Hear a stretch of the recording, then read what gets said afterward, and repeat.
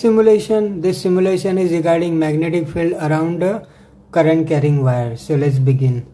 Let me introduce the battery.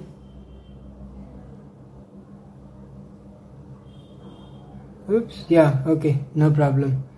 Um, as you can see the current is flowing and around a current carrying wire there is a magnetic field. And it is given with the help of right hand rule and we will explore more in this simulation. Let me in, in, increase the current flow and the magnetic field will be stronger.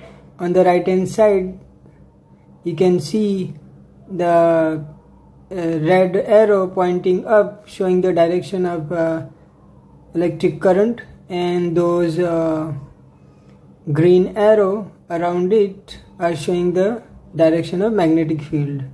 We can also use a right hand thumb rule uh, to show the direction of magnetic field around the current carrying wire. So thumb will represent the direction of current flow and the curled fingers will give us the direction of magnetic field around the wire. And on the left hand side there are iron filings and they are arranged according to the direction of magnetic field. So it's a cool simulation. Let's uh, switch the direction of current. Yeah. And uh, the direction of magnetic field will also reverse. And again with the help of uh, right hand thumb rule, we can find out the direction of magnetic field around the current carrying conductor.